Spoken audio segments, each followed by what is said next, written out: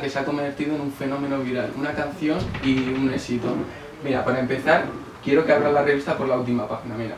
Vale. Y, y quiero que me ayudes a hacer el crucigrama, no esta. ¿Cuál? Esta. Ok. Vale, la 10. ¿Me la puedes responder? ¿Qué... Brother, ¿qué anda buscando Manuel Turizo? Una lady. una lady, andamos buscando una lady aquí en España. Pues Nada, ya que estamos dentro de la entrevista, vamos a empezar hablando de una lady como tú. Cuéntame, ¿cómo y dónde nació una lady? Bueno, pero una lady como tú nace un día que nos sentamos a escribir Julián y yo. eh, era la primera vez que escribíamos con ukelele. El ukelele es eh, un instrumento de cuerdas, tiene cuatro cuerdas. Que pues mi hermano principalmente tocaba la guitarra, pero quisimos experimentar el ukelele a ver qué pasaba y nos gustó mucho. Entonces un día nos sentamos a escribir ¿Qué, ¿Qué le diríamos, o sea, imaginándonos a esa mujer que esperamos tener algún día que nos vuelva locos y que quisiéramos quedarnos toda la vida con ella? ¿Qué, qué haríamos por ella? ¿Qué, ¿Cómo seríamos? ¿Cómo serían Julián y Manuel Turizo enamorados? Ahora te voy a preguntar de la melodía. Unos acordes diferentes que llamaron mucha la atención. ¿De dónde surgió esta melodía? Bueno, te, te, te voy a ser realista, te voy a ser sincero. Yo no sabía tocar ukelele muy bien en el momento en el que, en el que fue la primera vez que escribimos con ukelele. Sino que yo tocaba guitarra y por lógica yo empecé a buscar, bueno, vamos a ver cómo son las notas de los círculos armónicos en ukelele. Y encontré el círculo armónico de, de re mayor y ahí empezamos. Empezamos, esto nos sonó bonito y sentimos, pues empezamos a tocar diferentes círculos, armónicos hasta que sentimos que la energía de alguno fue lo suficientemente bonita como para, para inspirarnos a escribir sobre él. Y cuando sentimos ese que nos gustó, sobre ese empezamos, no fue algo planeado como que, hey, tengo un círculo armónico que quiero, no, no, no, empezamos a sentirlo, a escucharlo y el que nos fluyó es la energía, para nosotros fue simplemente energía, la energía que nos fluyó, ese, eh, sobre ese escribimos y, y lo escribimos sin parar. Una canción escribimos como más o menos desde las 9 y media, 10 de la noche, como hasta las 3 de la mañana.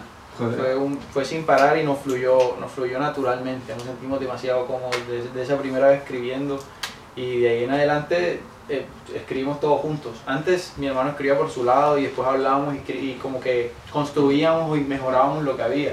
Pero a partir de ese día que nos gustó tanto lo que escuchamos, ya siempre escribimos juntos y nos ayudamos en lo que hacemos. Ahora, yo ayer me puse a hablar un poco con vuestros fans y hay una pregunta que siempre me hacen, siempre queréis hacer. ¿Cuál es la de lady que buscáis? ¿Cuál es el prototipo de lady? Bueno, mira, en realidad no, no, no, no hay un prototipo. Yo creo que para mí, la que me enamore, en realidad sea lo suficientemente real, lo suficientemente sincera y, que me enamore en realidad. ¿Cierto? Sí, yo pienso que, que, pues por lo menos nosotros somos unos enamorados de la mujer, de la mujer en, en, en toda la palabra, en todo lo grande de la palabra.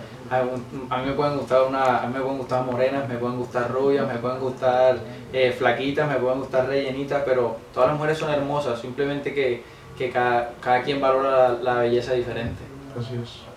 Pero justamente con una lady como tú sacaste otros dos temas. ¿Por qué crees que triunfa una lady como tú y no nosotros dos? Porque en una lady como tú propusimos un sonido diferente, un sonido con identidad. Una, o sea, una lady como tú, ¿a qué, se- ¿a qué se parece? Pero es como muy relajada, muy... Exacto, pero, pero en realidad no hay, no hay nada con que yo creo que sí, no, no, no hay como, ah, se parece a esto, no. Es una identidad, un- o sea, es un sonido, un sonido distinto, un sonido muy refrescante y pues a la gente, la, la gente le llamó la atención, le, le llamó la atención esa propuesta de sonido. En realidad cuando nosotros decidimos sacar tres canciones, eso fue lo que quisimos hacer, tres propuestas de sonido. Un reggaetón oscuro, que es baila conmigo, un reggaetón más bien como suavecito, Romántico. escuchar, romántico, pues vámonos. Y una Leti como tú, que era la propuesta de sonido distinta que proponíamos nosotros. Y pues a la gente le gustó, gracias a Dios. Pero con esta canción te llevó la oportunidad de firmar con la EN, de conocer a Nicky Jam. ¿Cómo fue la primera vez que os conocisteis? Porque os conocisteis justamente al grabar, ¿no? Bueno, Nicky, lo de Nicky pues, fue, una, fue una oportunidad muy chévere, fue muy emocionante porque pues, Nicky es un artista que lleva muchísimos años trabajando en esto y es una persona de la que hay mucho por aprender. Eh, la- cuando lo conocimos fue para cuando íbamos a hacer el remix de Una Lady como tú en los estudios de la Industria Inc.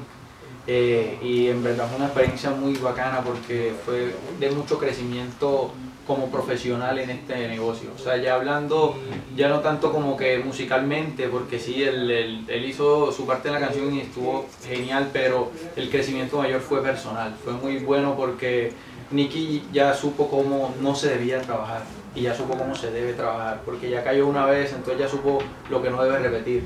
Entonces fue, fue demasiado, no, no hizo falta tiempo para él contarnos muchas de sus historias, de tantos años de trabajo, de cosas que no debíamos repetir y yo creo que es algo que muy pocas personas tienen la oportunidad de, de compartir para aprender y yo creo que somos muy afortunados con todo esto que nos ha regalado la vida.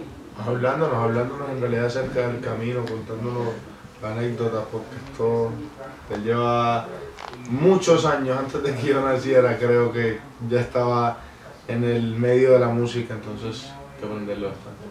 Buah, ahora me voy a meter en otro tema. Bésame con Valentino, otro pelotazo que pegasteis. bueno, Bésame, Bésame, Bésame, Bésame fue nuestra segunda canción. Bésame, estamos súper emocionados. En realidad era la segunda, la, sí, la segunda canción que sacábamos después de segundo trabajo musical que mostrábamos. Y fue una canción que sinceramente la idea la empezó Sensei, quien, quien, quien, quien fue quien inició trabajando con Julián y conmigo. Éramos Sensei, Julián y yo, y después pues ya entró la industria Inc. y un equipo de producción creció un poco más. Pero es la idea, la empezó Sensei y la, pues, la llevó al estudio y ahí la terminamos Valentino y todo, el, Julián, yo, todos. La realidad nos enamoramos de la canción en el momentico, sentíamos, sentíamos que, que, que, era, que tenía mucho chicle, que era muy, era bonita pero también te, te, te, hacía pararte a bailar, entonces nos gustó mucho desde el primer día, ¿cierto? Así así es, y, hubo una mezcla de, de, talentos antiguos y nuevos dentro de un estudio que me parece que también eh, hizo que, que, hubiera tanta química. Estaba Saga White Black, que pues es productor de Nicky, que ha ganado como mejor productor según Billboard eh, dos años de seguido, eh, junto a Sensei, que es un productor que nunca antes había hecho una propuesta de reggaetón hasta que nos conoció a nosotros. Entonces estaba como que la experiencia contra, contra las ideas frescas que no tienen experiencia, sino que se están encontrando. Entonces estaba Valentino, que, que hacía parte del dúo Magnati Valentino, que están haciendo música más o menos desde 1997. Y estaba Manuel Turizo y Julián Turizo, que son personas que están haciendo música desde 2016. Entonces, claro, estaban cerebros viejos y cerebros nuevos de la música y, y trabajando sin egos, trabajando simplemente sintiendo una misma energía. Y yo creo que la gente sintió eso que hicimos tan bonito con sentimientos reales y, y no con de pronto egos y cosas así que hacen que el talento y de pronto todo eso fluya mucho menos. Que la energía de la canción no fluya, en realidad nos centramos en que una canción se sienta, que la música se sienta, la música no es solo para escucharla, sino también para sentirla. A mí lo que me llama la atención es que estáis en un género de música urbana que todos dicen cosas prohibidas, llegáis vosotros y decís, habla mal oído y bésame. yo, creo, yo, yo creo que yo siempre he dicho desde que empezamos, que yo creo que eso es una parte de de este gran éxito que llega, llega Manuel Turizo, un joven de 16 años, con una voz de un joven de 30 y, 30 y algo años, un momento en el que todo el mundo estaba hablando de, con letras muy, muy fuertes, y él llega a decir, eh, acá se enviarte flores y el nombre, ¿sí me entiendes? Algo que nadie espera,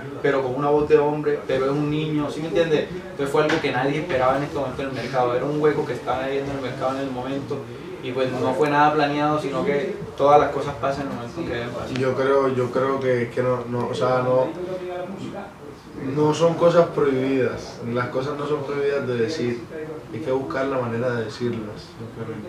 Entonces la música urbana viene de la calle, por ende pues en realidad es, es, un poco brusca, y pues inclusive yo escucho de la música de la que habla, especialmente todos saben de qué lenguaje habla, pero es porque cada quien yo creo que, que, sus bases son distintas y todos, todos no tuvimos la, misma oportunidad, todos no crecimos en el mismo ambiente.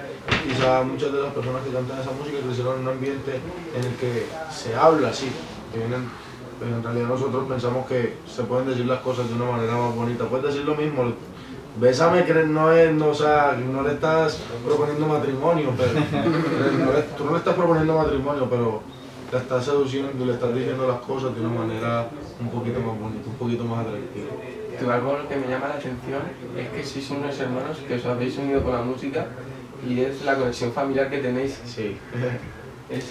Sí, no, yo pienso que es de, los mejores regalos que tenemos en, esta vida, pues poder contar el uno con el otro y en verdad nosotros éramos unidos, pero a, partir de la música nos unimos muchísimo más, teniendo tanta afinidad y sintiéndonos también trabajando juntos y pues hace mucha falta tener una persona que, que, que sea tan igual pero tan diferente a ti a la misma vez.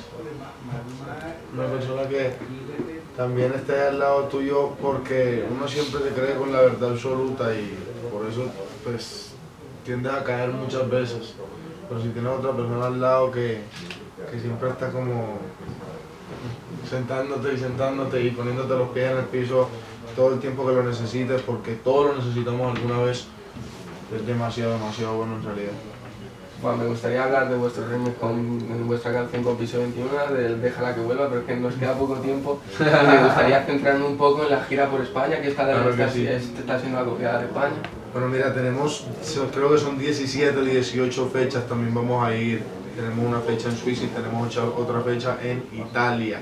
La próxima semana vamos para, vamos para Canarias. Vamos, no, Está haciendo la chileta, ¿eh? El Ahí 9, estamos nos vemos revisando. el- el 9 de marzo eh, nos vamos a ver en Tenerife, el 10 de marzo.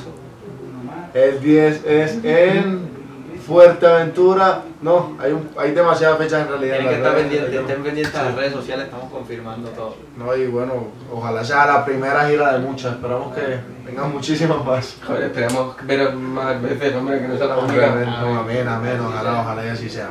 ¿Y algún proyecto que, que está en ese mente, una colaboración que se venga Bueno, pronto? mira, sí. Ahora que sacar temas que estás en el momento ágido. Tenemos, tenemos, tenemos varias cositas ya, en realidad nosotros tenemos prácticamente un álbum guardado, en- pero, pero hay que hay que ir con calma, no queremos una carrera de dos años, queremos una carrera que ten- yo tengo 17 y espero a mis 40 años todavía seguir en la música y Julián yo creo que también espera lo mismo conmigo, ¿cierto? Sí, claro, no, se, puede, no se puede soltar todo en un segundito Sí. y tener una carrera rápida, muy alta, sino que tener una carrera segura, pero seguro. para toda la vida. Así es. Pero ya tenemos craneada alguna que otra cosita. Vamos a, vamos a lanzar un regalito dentro de poco. Entonces por redes ahí vamos a estar avisando. Entonces tenemos que estar atentos, ¿no? Así es, así es. Parece, parece, parece que va a ser un featuring. Uy, Entonces- Pinta bien, ¿eh? Todavía no hay nada confirmado, si Sí, no lo no adelantaríamos, pero no hay nada confirmado. Por Exacto. ahora parece que va a ser un featuring. entonces, es que después uno dice y no sale, entonces es mejor, es mejor avisar cuando ya esté todo completamente seguro. Pero sí, si vamos ya dentro de poco, vamos a sacar otra cancioncita por ahí. ¿Sabes con quién me gustaría veros? Con ¿Con Cali quién? el Dande. Sí, Sí, me gusta, me, me- para no No, sé. sería muy bueno, sería ese. gusto musical, digo, joder, pegáis más vuestra voz y la forma que cantan ellos. sí, sí, no, en realidad sería muy bueno. Ellos son muy talentosos, muy, muy talentosos. Totalmente. Joder, pues ya daros muchas gracias por todo. Me gustaría seguir hablando con vosotros porque tengo miles de preguntas. eh, Sigo tu carrera aquí. Muchas gracias, y man. daros las gracias por esta entrevista y que disfrutéis en España. Hombre, no, muchas gracias a ti. Un saludito. Todo el tiempo esperando. Por favor, tú dime cuánto tengo que esperar para que seas feliz.